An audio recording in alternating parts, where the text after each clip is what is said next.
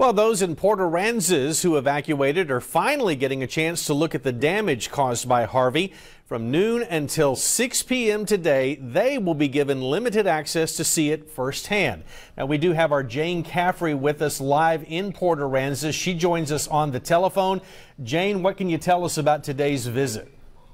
Yeah, Mike, thousands of Port Aransas residents are really eager to get into their hometown, and evidence of that is seen in those pictures you have there. You can see this line of cars stretching all the way down Highway 361. We're being told that this is about a two mile line of cars going out from the city limit. Now, and now that it is noon, police are starting to check IDs and letting people into Port Aransas just now. Cars are slowly trickling into the city. And if you are a Port Aransas resident, this is what you need to know. It is limited access. It is for residents only, as you mentioned today, from noon to 6. You do need a valid ID with your Port Aransas address on it. And no children will be let in. You have to be 18 plus.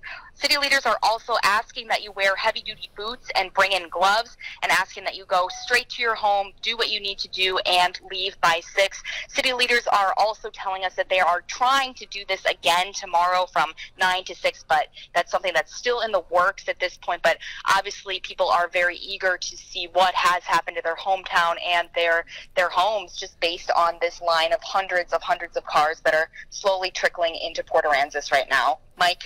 All right, Jane, thank you so much for that. We're told that uh, what you're looking at, that's about 11 miles from the center of the city, so there's a lot of ground to cover right there. We do have one other important piece of information for anyone who may be planning on heading to Port Aransas. The ferry crossing remains closed. It shut down Friday morning and is still out of service. In fact, the only way to and from Port Aransas right now is State Highway 361.